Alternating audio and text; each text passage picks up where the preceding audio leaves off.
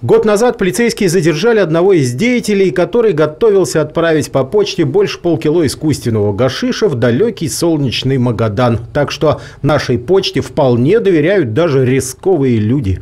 Оказалось, что взяли только исполнителя, который за свою долю малую отправлял посылки. Кроме того, как выяснилось позже, он самостоятельно подрабатывал торговлей курительными смесями. Наркокомандира, объявленного в федеральный розыск, взяли уже в этом году. Оказалось, наркотики к нему поступали из дружественного Китая.